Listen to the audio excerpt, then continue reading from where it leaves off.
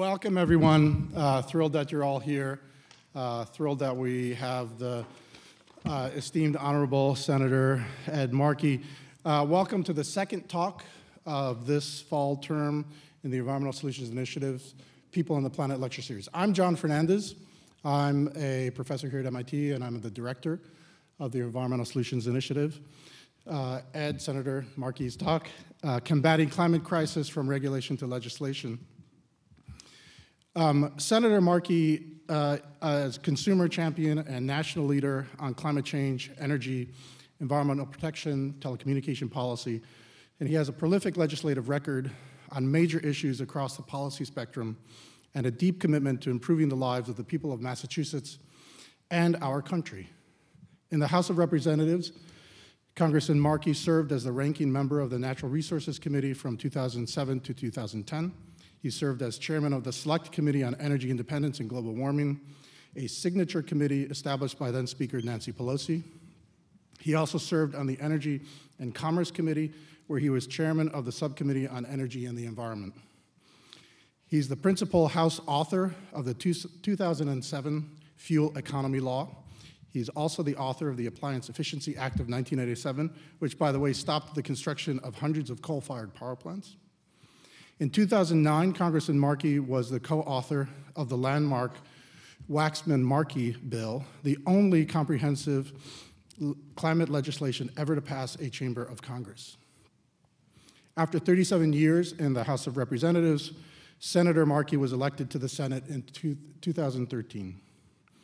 Senator Markey's visit to MIT continues the commitment of the MIT Environmental Solutions Initiative and the Institute as a whole to bring to campus key voices on the challenges of climate change.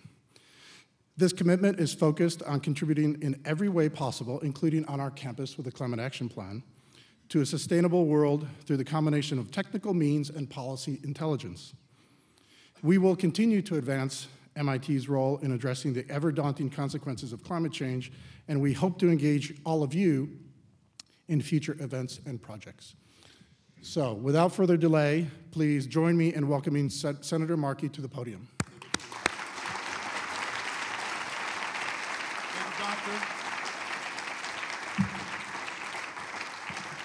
Thank you, Dr. Fernandez, so much. Thank all of you for coming out here on Friday afternoon at 4:10 in the afternoon, and that is no small commitment to uh, this huge issue.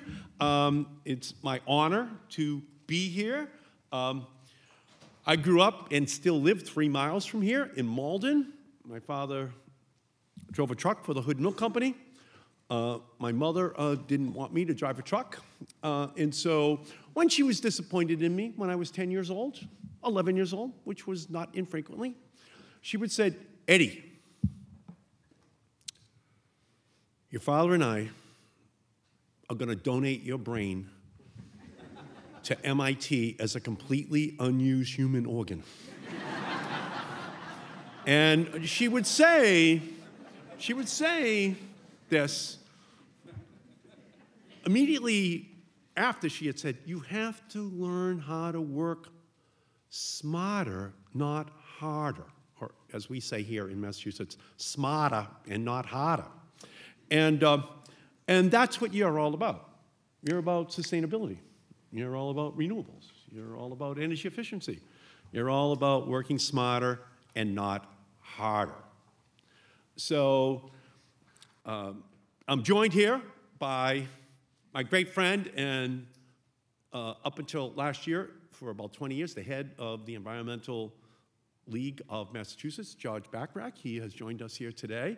Uh, he was the quarterback for Massachusetts for all these years, and his wife, Susan, uh, is here as well.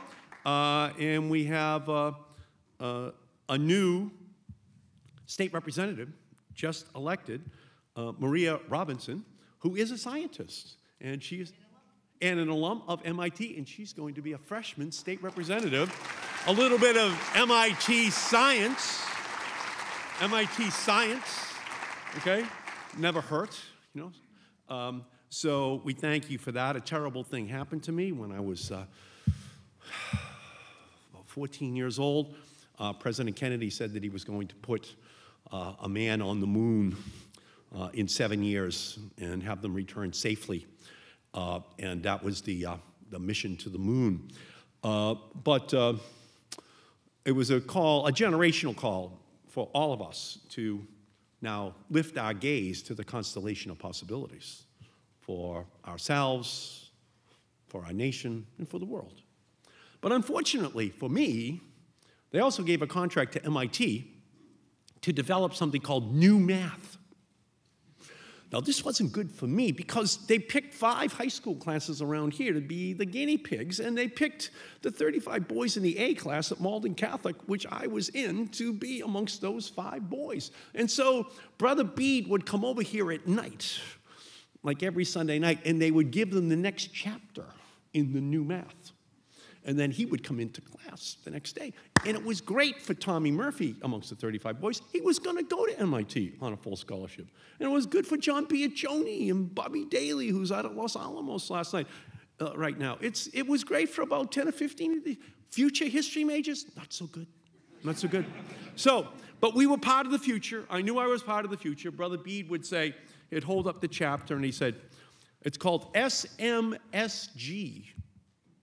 some math, some garbage. Our job, boys, find the garbage so we can help MIT.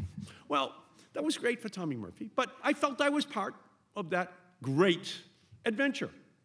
And it was my great honor when I got elected to Congress 42 years ago. Uh, and Tip O'Neill said to me, Which committee do you want to be on? Well, that was my focus.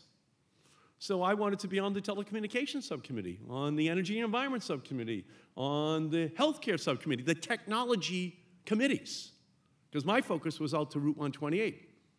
Boston and Cambridge were still old cities with old industries.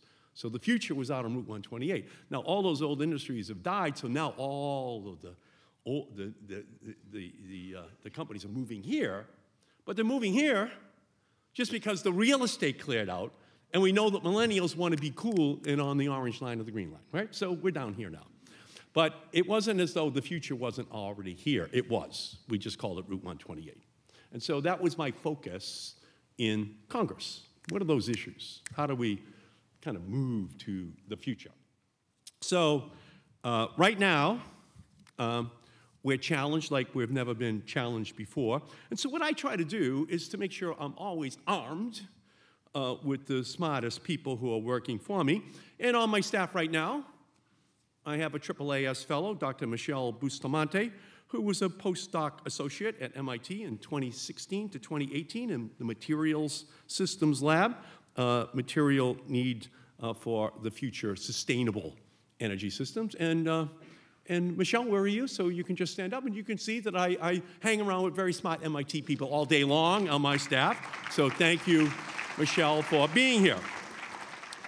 So, Massachusetts is the Bay State, but we're also the brain state. So it wasn't lost on me when I started in Congress that President Kennedy had asked Jerome Wiesner, the president of MIT, to be his science advisor. We all knew that when we were kids. The president had the president of MIT walking around. He was talking to him about nuclear arms control, strontium 90 coming down from nuclear blast. He was, they actually passed the first Clean Air Act in 1963. People don't know that. That's what the 1970 law was based upon, that first one. People don't know these things about what MIT was bringing into the White House. President Eisenhower had his science advisor, advisor in some kind of witness protection program. No one knew his name, okay? But all of a sudden, it's being glorified. Science is important. So we know that the science is clear on climate change. Um, uh, now we have 70% of all Americans uh, who agree with the Paris Agreement. Uh, we all know that when the president says that he wants to change the Paris Agreement so we get better terms, well, we already have great terms. terms. It's called wind and solar, all electric vehicles, sustainable energy technologies, new metals. We already know what the terms are, and we already know that we can be the leader and that we can tell the rest of the world that this is something which is achievable. However, we also know that 16 of the last 17 years are the hottest years ever recorded in uh, the history of the world. We know that there's been a 1.8 degree warming since the year 1900. Uh, we know that, um, that by the year uh, 2030, that um, for 210 days a year, um, Mar-a-Lago will be underwater and be Mara Lagoon. Now, you would think that Donald Trump would recognize that every time he visits as the water is splashing over the highway right outside his house, but we all know that that's incontrovertibly true as well. Uh, we know that there's been a doubling of the species which have been lost. We know that upwards of $500 billion annually could be lost. Uh, and we know that it could be a loss of upwards of 10% of the GDP of the United States by the year 2100. How do we know this? We know because the United Nations uh, have just issued a report which makes it incontrovertibly clear that it is, in fact, a consensus of scientists around the planet. And our own United States government scientists have released a report saying that it is incontrovertibly true as well. Now, there's a deficiency from the president's perspective on these reports because, unlike him, they did not receive their degrees from Trump University um, uh, on climate science with the diploma handed out by the Koch brothers. Huh? So that is the challenge which we are faced with, that you have a consensus among scientists on these issues, but if we don't act, then we have big problems. Now, we're about a mile right now from the second fastest warming body of water on the planet, the Gulf of Maine. That's where we live. It's the Arctic and us. We are the scene of the crime. We are the evidence that there is a rapid warming of the planet and that we are vulnerable. And we see it. We know it is occurring here. But again, the president and his all star team at the Department of Energy, at the EPA. If you can only imagine, we get rid of Scott Pruitt and we get the chief lobbyist for the coal industry to run the EPA. I mean, who would think that anyone would ever name the chief lobbyist for the coal industry as the head of the Environmental Protection Agency? It might as well be called every polluter's ally, right? What, what is the point, right? So you have this incredible takeover by the Koch brothers, by the coal industry, uh, of those things that, those agencies which we know should be um, at the center of the answers to the challenges which we are being confronted with. So, uh, this is my 42nd year. I actually gave a speech to the Democratic National Convention I, was unhappy with the direction which the Carter administration was going. Uh, they were going to pretty much tear down the Rocky Mountains and mine it for, uh, for uh, fuel from, from shale. And that was President Carter's um, energy independence plan. And uh, I didn't like that idea, to be honest with you. There were about 65 of us out of 435 that voted no on that.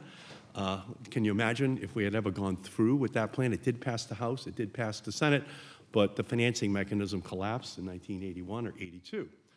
So in 1980, at the Democratic National Convention, Teddy Kennedy was running, and he gave me 10 minutes on Tuesday night of the convention to address the, the Democratic Convention 38 years ago on an alternative vision. And it was a solar and wind and electric vehicle solution by the year 2030 in the United States, a 50 year plan for us to reach it. Okay, so that was my address to the Democratic National Convention in July of 1980. Now, we didn't anticipate an actor from Southern California becoming president, to be honest with you. Uh, only about six months later, he took the solar panels off the roof of the White House, uh, and we were then in a battle to fight for the programs which we needed, but not in the best of environments. However, as Dr. Fernandez said, in 1987, I passed the first appliance efficiency bill. And I knew my mother was happy because what is this building? It's air conditioning, right? It's refrigeration, it's stoves, it's toasters. That's what's populating. That's why we need coal burning plants. That's why we need nuclear power plants, right? But we wouldn't need them if we were more efficient. So, what my 1987 law calls for is ongoing rulemakings on air conditioning standards for our country. SEER 10, Seasonal Energy Efficiency 10, or Seasonal Energy Efficiency Rating 11 or 12 or 13, each one is adding another 15% to the efficiency, right? It's called SEER 13. So, uh, overall, it's probably avoided 200 coal burning plants ever having to have been built because it's so much more efficient. Think about it this way in the South, in Texas, in the summer, 80% of all electricity demand, peak demand, is air conditioning. You improve that by 75%, you've changed the whole course of how we're going to generate electricity across the whole cell. Well, that's the law. Now, it's working smarter, not harder. Thank you, Ma. I'm here at MIT again, Ma, and I'm explaining to him how much I listen to you. But that's the way to go, and that's still the law, by the way. So all of it's much more efficient. Uh, the, the standards um, that we have for automobiles. So back in the 90s, and this is through Jerome Wiesner. I was over here at the Media Lab with Jerome Wiesner in 1989. I was the chairman of the Telecommunications Committee, and I, I wish that you could have all known Jerome Wiesner. Uh, you, uh, you knew that you were in the presence of greatness uh, and brilliance when you were with him.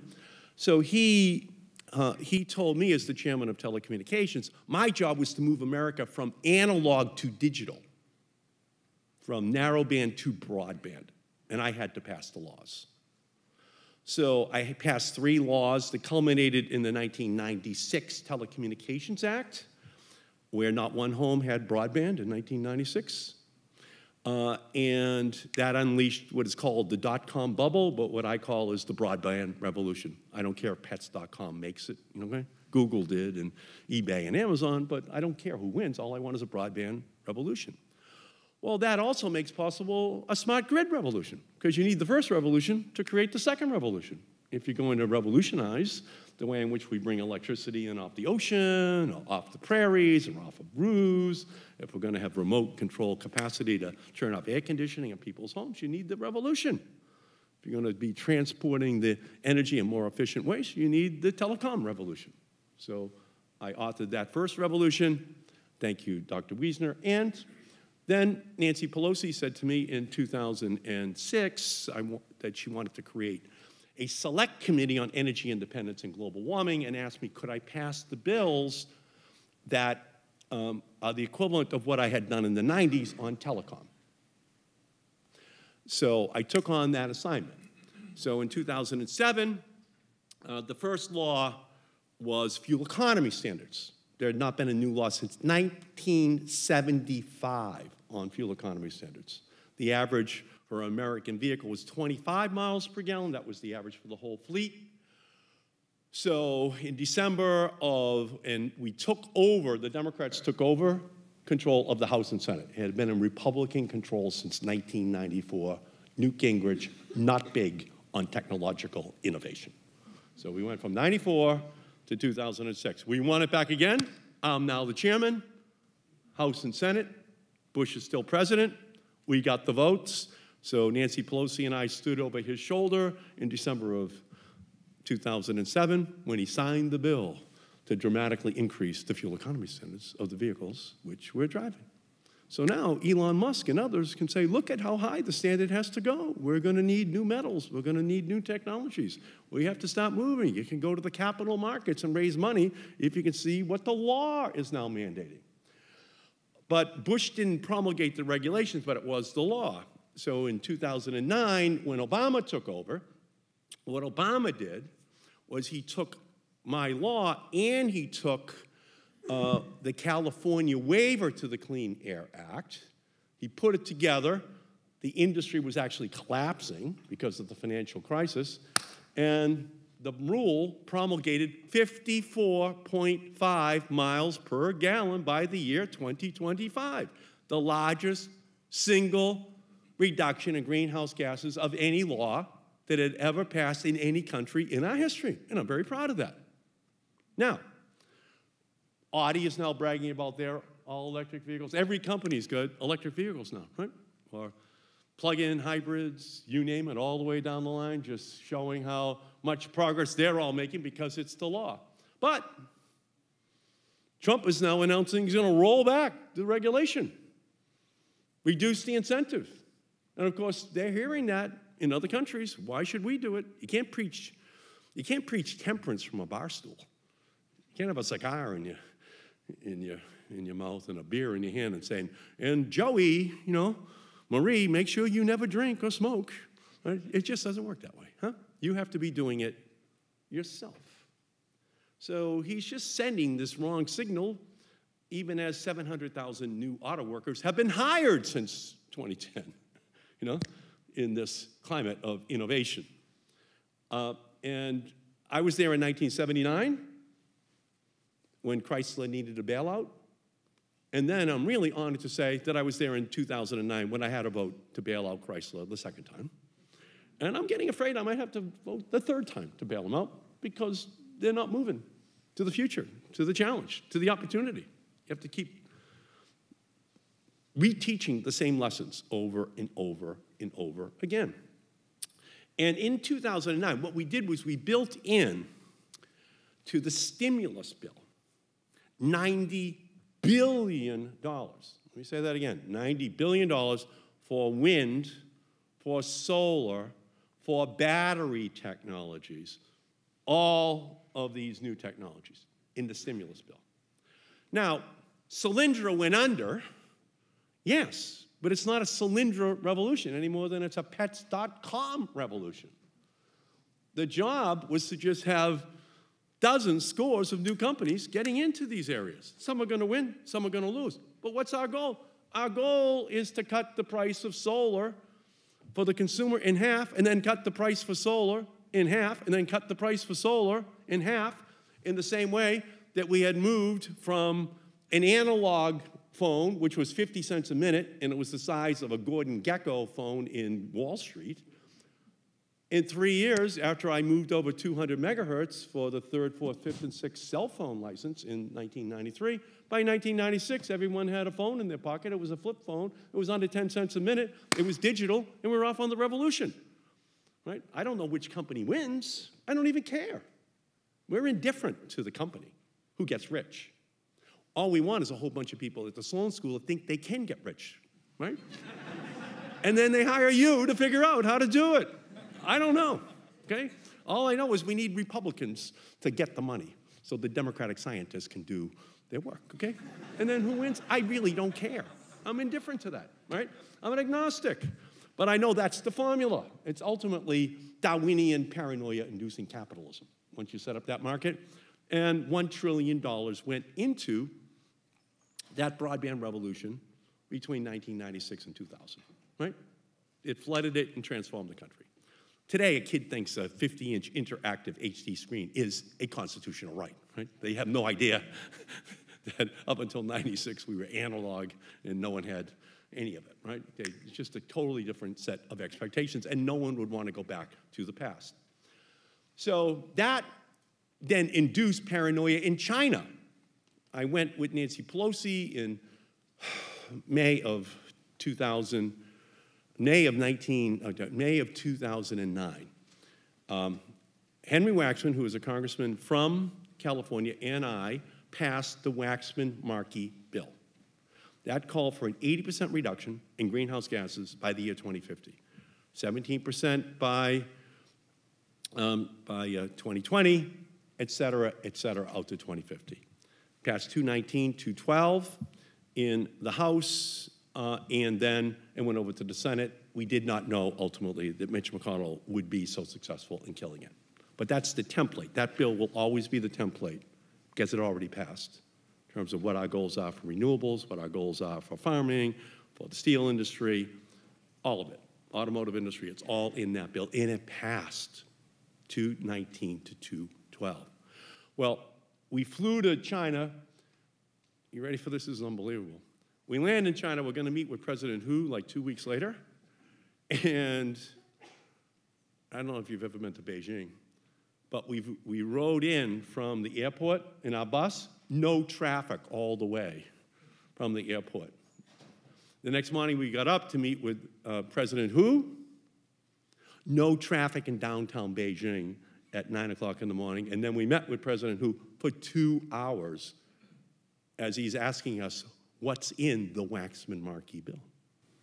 And we explained the goals for wind, for solar, for all electric vehicles. Hmm, took it all in.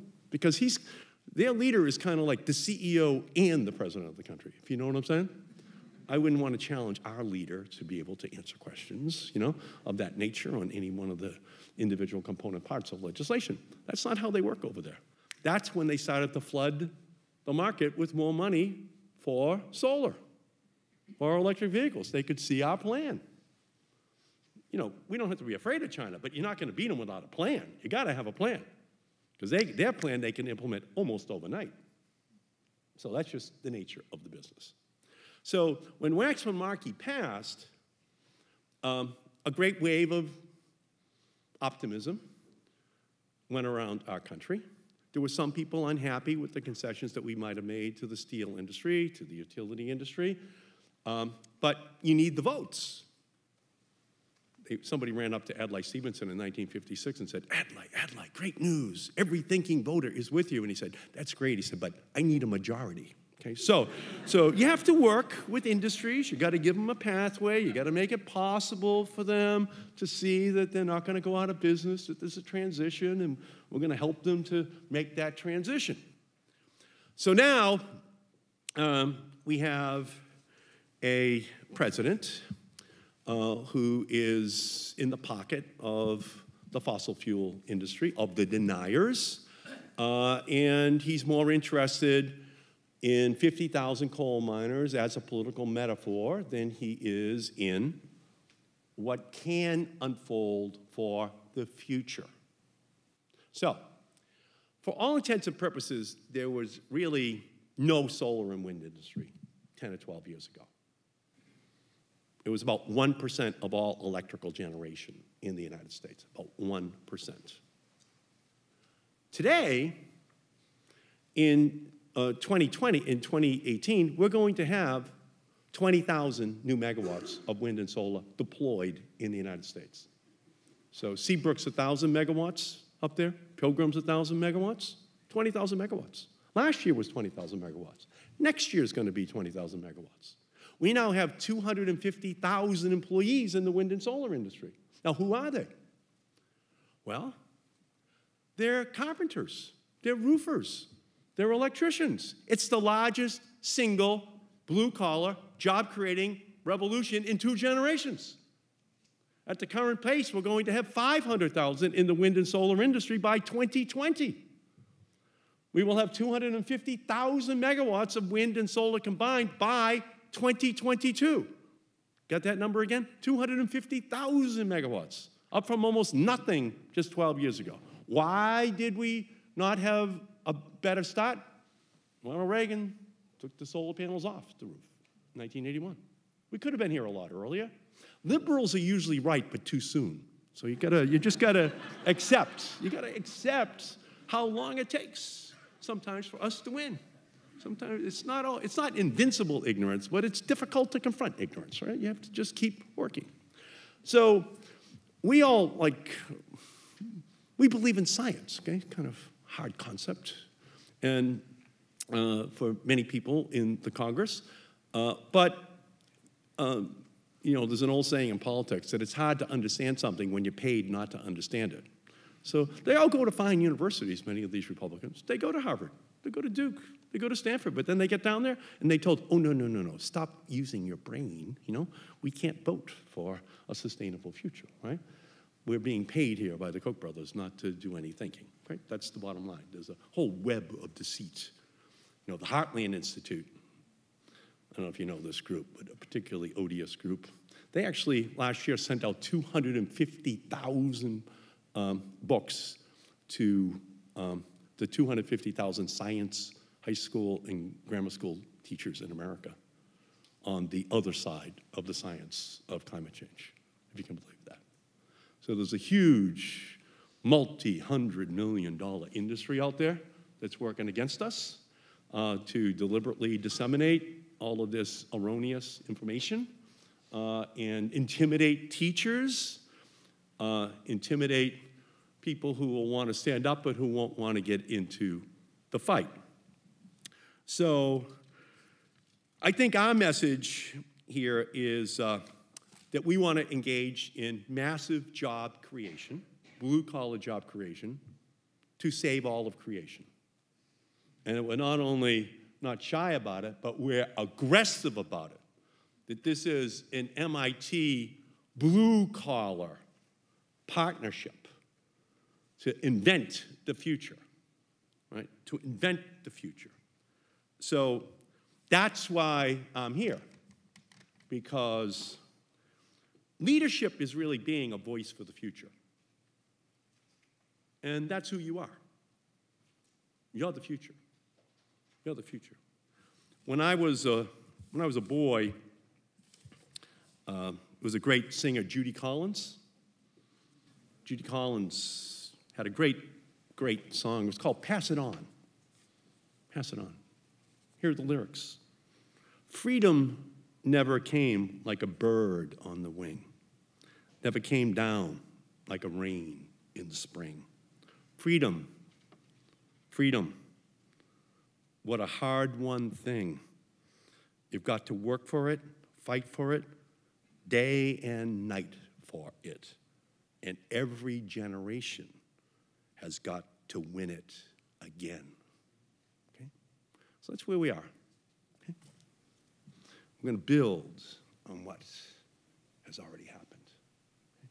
We know what still has to be done, and we need our own intergenerational compact here that we all work together to just keep building towards what we know has to be done. Because Donald Trump's building a new intergenerational compact on the other side. And you can see his young people at his rallies all clapping so hard that it's bruising the palms of their hands. And it's almost unbelievable that you can look at these young people and think that they're doing it, but they're there. So we're going to win. We always win in the end. But you have to fight for it in each generation. There's no final battle. So in Congress this year, um, we're going to have a big battle, and uh, we have a lot of issues that we're going to need your help on. Uh, we're going to have an infrastructure bill. The president wants an infrastructure bill. I'm on the Environment and Infrastructure Committee.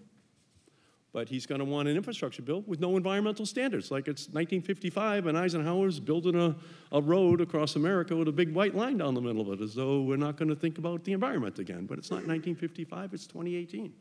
So if we're going to have an infrastructure bill, we're going to have to have high environmental standards that are attached to it. And we're going to need you as part of this effort. You know, making sure that our arguments are heard and that we can do it. See, that's a big part of what this is all about. We know that we can do it. We're also going to have a big battle over tax over, over a tax bill. So next year, Trump and uh, the Republicans in the Senate are going to want to pass a tax bill. But we now control the House of Representatives.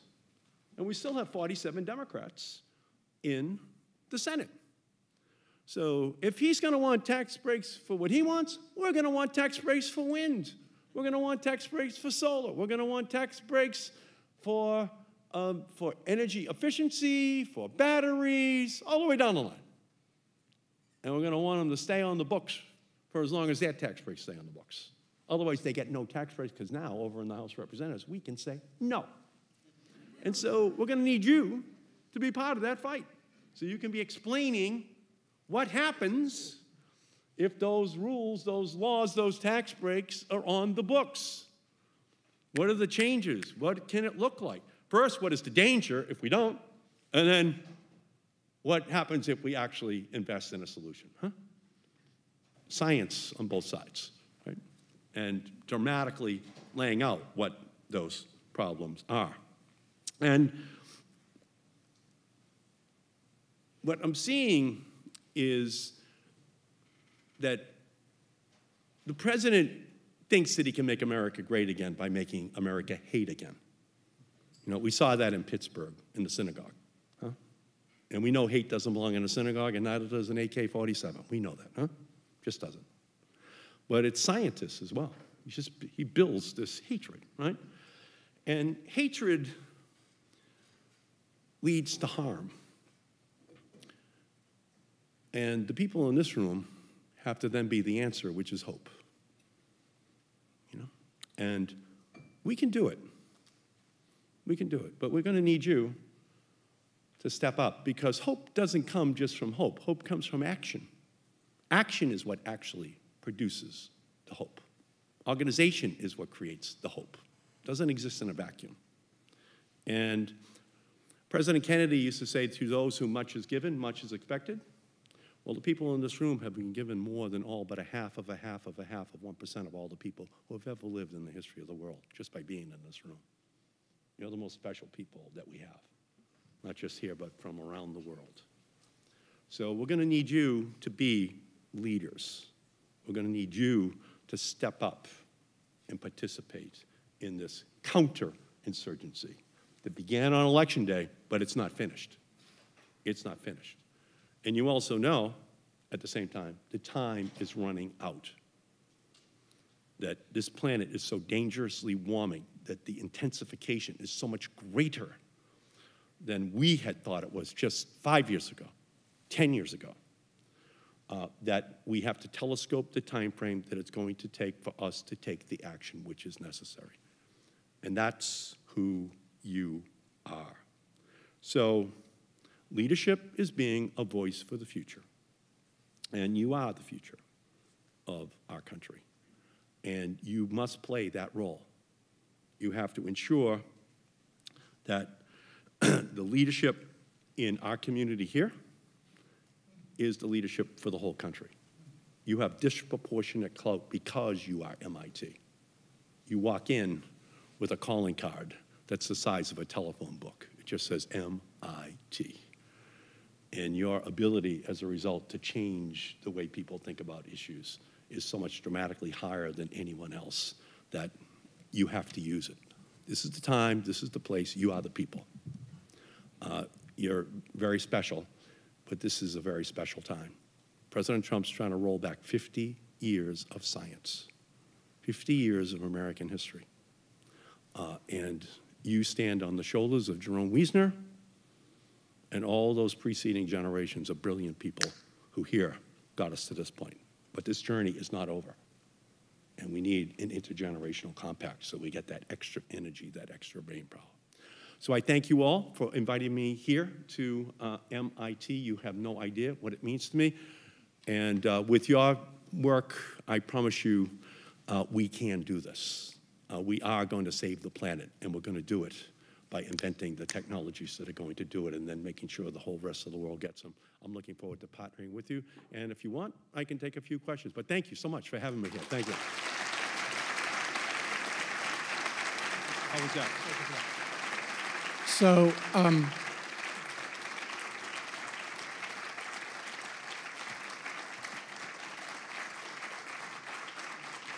so we're we're we're on a tight timeline, and I do want to have um, several questions asked. Uh, we have about 15 minutes. If you're going to ask a question, please line up at the microphones. Please introduce yourself. One question per person. No long statements, please. First question. Can I say this? What I like about MIT is the questions come in the form of answers. Okay, that's the that's the beauty of being over here. You know, you, you, yes, ma'am. I'll try not to do that. Can you just speak up a little bit? Yes. So, Corey Alperstein. I'm from Newton. I'm not um, a graduate M- of MIT, but I am a dedicated climate activist and a mother of two children, and I am terrified for the future.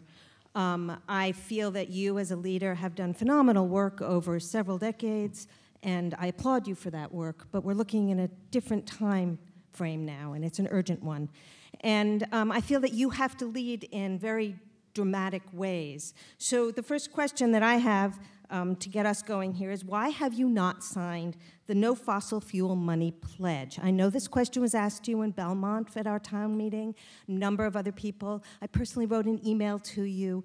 You mentioned being in the pocket of fossil fuel industry, you, how money de- uh, corrupts politics. We, we need you to stand up for us literally and symbolically, Right. and uh, I'd love No, to I hear your answer. saying. Yeah, no, I got it. I, I just, is there any evidence that a fossil fuel company would be stupid enough to give me any money? I don't know that that exists, but um, no, I'm not taking money from the fossil fuel industry. I, I- so I, you, You don't have to in worry the about- you don't- past? You don't have You to have in worry. the you past? yeah, you don't have to worry about that. There So will you're no- gonna take the there will pledge? Be, there will be no Exxon Mobil PAC or Shell PAC. So is that a yes, you will take the life. pledge? Excuse me, excuse me? Is that a yes, you will take the pledge?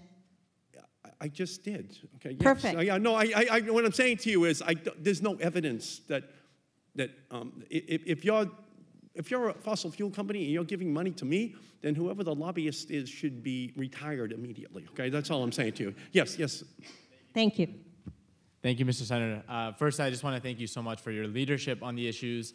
Um, contrary to others, I know for a fact you're not taking fossil fuel PACs because of all the measures that you've taken for decades now uh, on these issues. Uh, and unfortunately, I know with the lame duck session, Can Senate- you just move up the microphone Yeah. a little bit? Yeah. so you can hear better. Yeah, better. Um, I know, unfortunately, with the lame duck session in Congress, it's a challenge for you and some other senators to make it over to Poland this year for COP24. Um, and I know some aides will be attending, but I was just curious, uh, given that governors, mayors, people in other positions have had to sign the Paris Agreement in some degree to make pacts uh, when the federal government has not been there. Uh, what would you impart on people who are attending COP24 and uh, those who will be involved in this year's signing of the rule book Si- for? signing. I'm sorry. Signing of. So this year, the negotiations will be signing the Paris Agreement rulebook. So, as a senator and someone who is working within uh, the administration to try and get them to sign something, what would you impart on uh, myself, others who will be attending, uh, and also governors on what to do at COP24 this year? Ah, great. Okay. So, so the um, the meeting is going to be in Poland next week. That is, the world is coming together. So, in 2009, when Obama went to Copenhagen, what he did was he took the 17% pledge reduction that was in the Waxman-Markey bill and had already passed the House. It hadn't passed the Senate yet. There was still another year to go, and we thought that we could get it done. So what he did was he took the 17% pledge in the Waxman-Markey bill that Henry and I had selected, and then that's the pledge he made to the world, a 17% reduction by the year 2020. Now, we're going to be close to that. We might not make it, but just because of the policies that Obama put in place and what has happened at the cities and the states and the private sector moving, we're, we're moving um, rapidly towards that goal being met. But if you look out at 2025 or 2030, our goals are, are retreating. So what we need to do, uh, and that's what happened uh, last year when we went to Paris, uh, Jerry Brown, the governor of California, Mike Bloomberg, the former mayor of, of, uh, of, uh, of New York, and a Medford High School graduate. Um, and by the way, Mayor de, Mayor de Blasio is a graduate of Cambridge Rindge and Latin. I don't know why New York City can't have its own public school system, produce mayors for them, but we've been doing it for the last 20 years. But um, they were there, and, and I spoke with um, Jerry Brown and, um, uh, and with uh, Mike Bloomberg at a huge conference that we had there.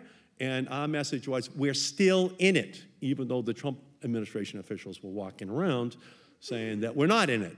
And our pledge was able to be made by our corporations, by our cities, by our states and by the members of Congress and the Senate who were there saying, we're going to stop any bad legislation from passing. We can't perhaps pass good legislation, but we're going to stop anything bad from passing. So I think that it's important for the world to know that we're still in it. MIT's still in it, Caltech's still in it, Harvard's still in it. Um, all across this country, we're committed to meeting this goal. So any and all pledges which can be signed should be signed uh, so that we're making that commitment uh, to the world uh, because Poland's not going to be necessarily a good thing. The more that we're backing away, you might have seen the story in the New York Times on Sunday about how many more coal burning plants are now being built in India, in China.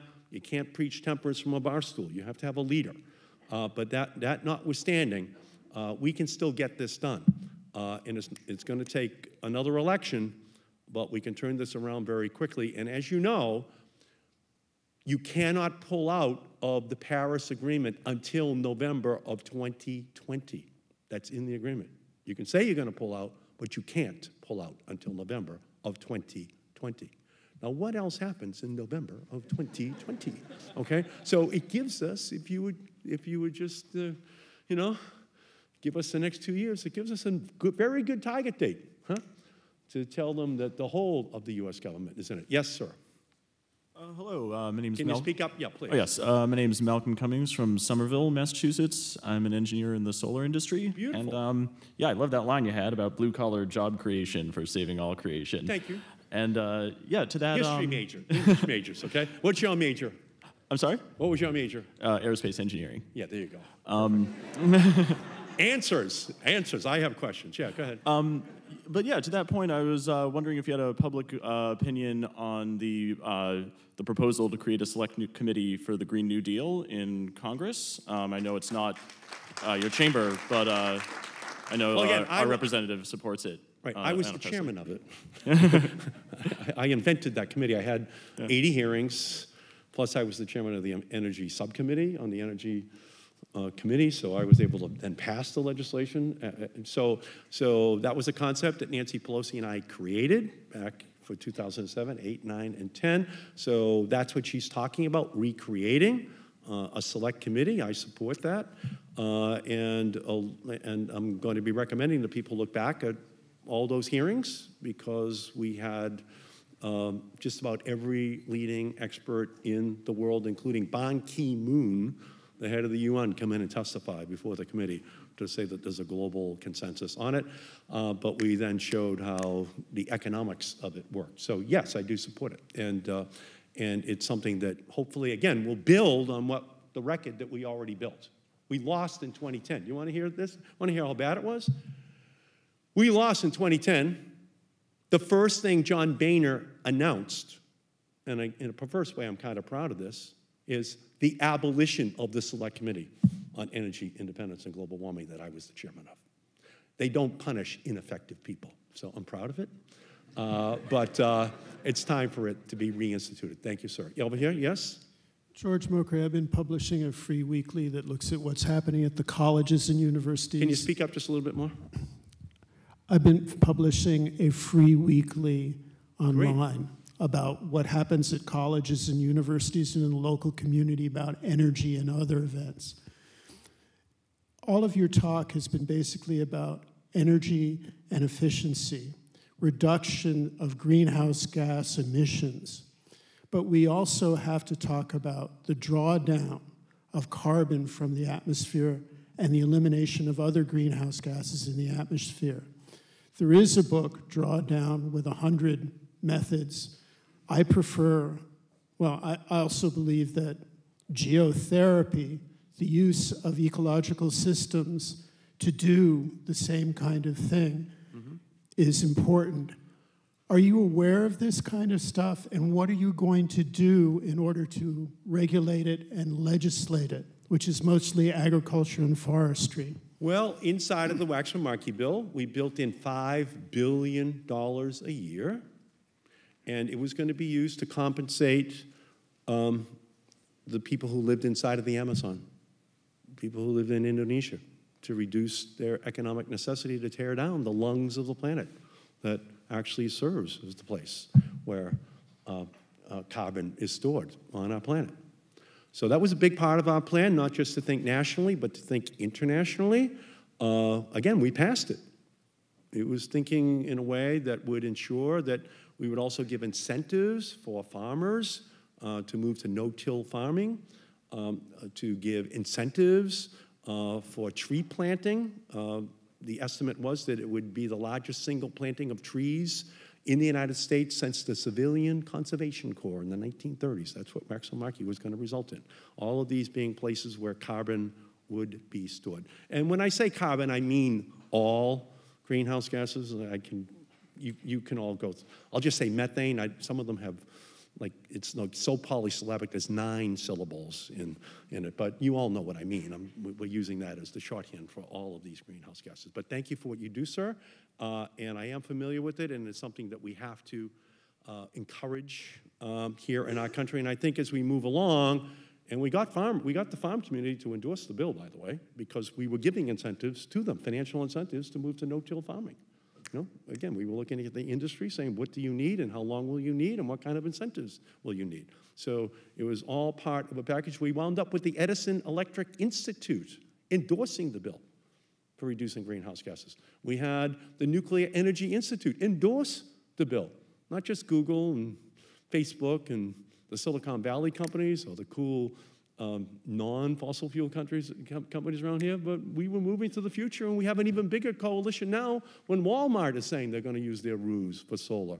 You know, when companies that uh, you know have seen the light over the last 10 years, they're now in as well. So it's getting bigger and bigger as each year goes by. Yes, sir. Hi, uh, I'm Hao Feng. I'm a grad student in the Aeroastro department here, developing uh, future propulsion technologies Beautiful. for aircraft. Uh, so I think we'll, we, we need to develop more efficient technologies, but at a particular technology level, how do you reconcile the fact uh, that economic growth uh, and more human productivity is probably at odds with reducing our climate impact? Ah, that's kind a good of, question. How do I? Thank you. Do you so, mean there's a there's a yeah, there's a battle I, between the yeah, two? Yeah, I'd just like to elaborate, oh, okay. kind of in the uh, reduce, reuse, recycle message. Um, the reduce message seems to me like a bit of a political non-starter. It's very difficult to tell people we need to reduce consumption or reduce uh, kind of uh, the size of our economy. So, do you think one day it will become politically viable to push that message, or how you know how do we get around this issue? Politically viable? It already is politically viable. We already have fuel economy standards. It already became a law. We already have appliance efficiency standards. Uh, no, I mean, people don't have less air conditioning. It's just more efficient air conditioning. You know, and then companies compete to provide the lowest costs more efficient. Uh, uh Same sorry, my, my point is that yeah, the, uh, even, even with the, we can do these efficiency savings, but fundamentally the biggest savings are by asking people to reduce the amount they use, reduce travel, or reduce right. the amount they use air conditioning. How do you do that? I appreciate that. But I think, honestly, the smartest way to go is to use the government to say, um, here's the goal. This industry must meet it. It's up to you to use whatever innovation you have in order to meet the goal. Then the winners will ultimately be the ones that are selling those products. That's what we do in the digital world over here. You don't know who the winners are. There were a lot of people competing with Amazon in that space in the late 90s, and they won. Look how efficient they are now. So, my view is that you can preach that you should use less, you can preach that you should turn off the lights. But if you want to work wholesale, you're just going to tell the industry, make all air conditioning 50% more efficient. Right? And that's just going to reduce it dramatically. The same thing is true for lighting. The same thing, lighting and air conditioning are right at the top of the list of the biggest electricity, you know, consumer uh, consumption. So, so my, my, if I understand your question, and I may not, I might be misinterpreting it, but I think that um, we can use the best of capitalism uh, to unleash the revolution, but you have to create the policies in the country. And until 10 or 12 years ago, we did not have the policy on wind and solar. We did not have the policy on automotive. We, we still don't have nationwide a policy on carbon, although using market forces New England, New York, um, Maryland, uh, and now New Jersey and Virginia, the governor of Virginia has hired one of my top energy staffers to be the Secretary of Energy and Environment for Virginia. So they're going to join the Regional Greenhouse Gas Initiative. Uh, and then, like California, there's going to be an ongoing reduction of emissions coming out of um, the electric, uh, uh, electrical generation uh, sector. Uh, so that's a growing plan. It's using market forces to accomplish the goal, even as Massachusetts and New York and New Jersey have seen an incredible increase in our GDP since that law was passed in 2006. You can have phenomenal increases in your GDP while you're phenomenally reducing the amount of greenhouse gases and energy which you're consuming. You, break, you, you create a disconnect, in other words. That's our goal the disconnect. You're going to have higher GDP and lower energy input going into it, and you just have to use market forces. And what we do with that is we then take the revenues which we raise, and then we put it into the renewable energy sector. So you're even driving uh, faster changes there. George had a big part in creating that formula here in Massachusetts. And I, one, one Okay, okay, yes. Apologies to No, please. I'm the bad cop. Lucy, you have the last. okay, and I apologize to, what team is that? Uh, It's uh, Stanford hockey jersey. Stanford Hockey. I'm going to watch BUBC hockey tonight. Ah, great. Yes, Lucy. Yeah, who are you, Lucy? Um, I'm Lucy Mildy. I'm an undergrad here, and I'm from southeastern Massachusetts. Um, California has made great strides in building wind and solar, but all of the cheap um, electricity during the day has caused uh, nuclear power plants to have to shut down in some cases. Um, so the Union of Concerned Scientists, among others, have come to the conclusion that nuclear power is essential to any realistic um, plan to meet our goals. How does nuclear power fit into the policies you're currently supporting? Uh, that's a good question. How does nuclear power fit in? Well, nuclear power is a very expensive way to boil water, just a very expensive way. And you have to have a 10 mile emergency evacuation plan built around the boiling of that water. And so, if you are a utility executive and you're thinking about building a new 500,000 megawatt plant, and it's 2018, not 1978, that is not before Three Mile Island, um, the marketplace is unlikely to move dramatically in that direction unless there are federal loan guarantee pro- programs for the construction of that plant, meaning that the utility will have a loan guarantee from the federal government. Now, Adam Smith is spinning in his grave so fast thinking about that federal loan guarantee for a nuclear power plant to be built that it would probably qualify for a loan guarantee as a new energy source, uh, all that energy being spun up by Adam Smith. But um, the, so my feeling is this, that, and, and, and I'll take your question just as a way of talking about something. So we're now up to 7 to 8% of all electrical generation in America is now wind and solar, up from 1% just 10 years ago. We're adding 1.5% every single year. That's 20,000 megawatts a year. That's why we got to keep the tax breaks on the books. That's why the states have to keep their standards on the books. If you add 1.5% every year, including 2018, out to 2030, 1.5 times 13 is, uh, I guess that's about 20. So if you add that 20% more to the 8% we already have, we're up to 28% of all electricity is wind and solar by the year 2030 if we keep on the same pace we have. And there's no breakthroughs in battery technology. This is assuming no breakthroughs in battery technology. Now I'm over here at MIT, so I'm not accepting that premise. But let's just say, for the sake of the argument, that there's no breakthroughs at all. Is somebody that's going to become the richest person in the world who makes that battery breakthrough, which is why I know there are sophomores in high school all making that their project right now uh, and trying to get into MIT on that project, right? So we're going to make the breakthrough. Nuclear is now about 19% of all electrical generation in America. Uh, so we don't want any unnecessary retirement of those plants, but let's just say for the sake of the discussion that we can add that 19 to that 29. Now we're up to 48. Um, 7% of all electricity in America is um, hydropower right now, so you can add that 7 on. So that brings you up to around 55% of all electrical generation in America will be non-fossil fuel by the year 2030 at the current pace, because we're not going to be tearing down the Hoover Dam soon? So that's a 55. That's by 2030 with no breakthroughs. Now, that's the climate within which the nuclear power plant industry has to work. They now have to try to figure out how do they draw the capital investment, uh, knowing that the price of solar and wind is going to continue to drop. It's now down to two cents a kilowatt hour in Mexico, two cents a kilowatt hour in Dubai, two cents a kilowatt hour in uh, Saudi Arabia.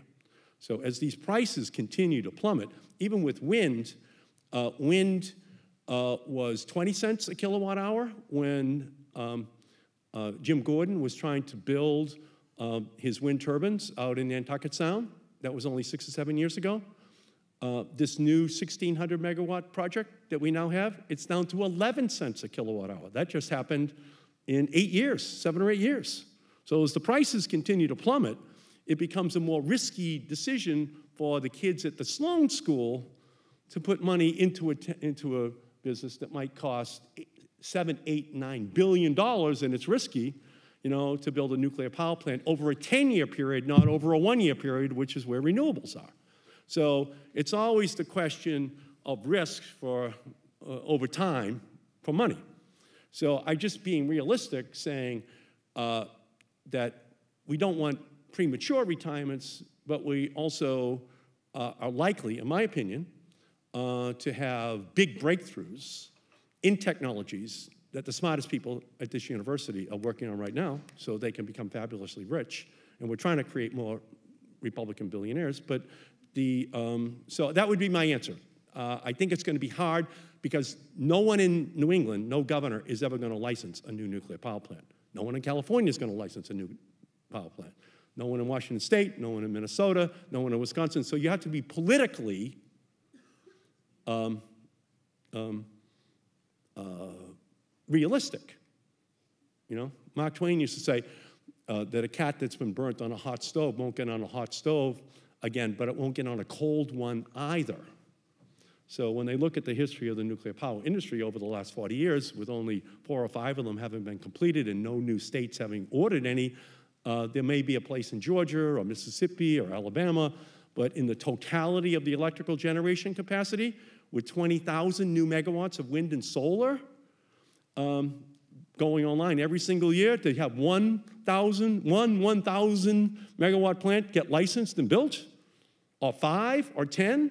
Well, by the time they finish the 10, we'll have 150,000 new wind and solar megawatts uh, over that same period of time that will have come online. So you also want to get the proportion that new nuclear will play. New nuclear, not old nuclear. That's going to continue to play that 19 to 20 percent role. So, um, but it's, it's, um, um, it will play a role, the little baby nukes, more proliferation resistant. It might be easier to license them and to locate them, but you just have to add up the total megawatts and it just won't match what's going to happen in renewables.